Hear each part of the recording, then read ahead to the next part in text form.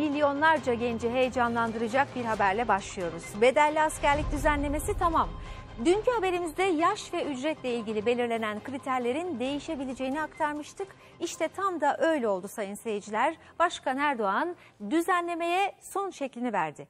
Bedelli askerliğin yaş sınırı 25, ücreti ise 15 bin lira olarak belirlendi. Üstelik teklifin önümüzdeki hafta mecliste görüşülüp yasalaşması bekleniyor. Bedelli askerlik bekliyorum. 15 gayet makul bir ücret. Makul fiyat, makul yaş. 27, 26 derken milyonlarca gencin dört gözle beklediği müjdeli haber geldi. 25 yaş ve 15 bin TL öngörüsüyle beraber 25 günlük bir askerlik hizmeti öngörülüyor. 5,5 milyon gencin gözü kulağı bedelli askerlikteydi ve beklenen açıklama geldi. Düzenleme 25 yaş ve üzerini kapsayacak. Ücretse 15 bin lira olacak. Uygulamadan yaklaşık 5 milyon genç faydalanabilecek. Yaş 25, bedelde 15 bin lira. 15 bin lira.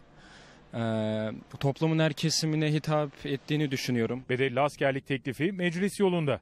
Düzenlemeden 31 Aralık 1993 ve öncesinde doğanlar yararlanabilecek. Birçok kişinin ailesi falan var. Yani gitme durumu olmayan insanlar var. Son bedelliden farklı olarak bu kez gençler 25 gün silah altına alınacak. Bu 25 gün boyunca temel askerlik eğitimi verilecek. Yaş belli, bedel belli. Sıra geldi ödemelere. Peki ama birikmiş parası olmayanlar nasıl ödeyecek? Akla ilk gelense kredi çekmek. Bizler de sizler için bir kredi hesaplaması yaptık.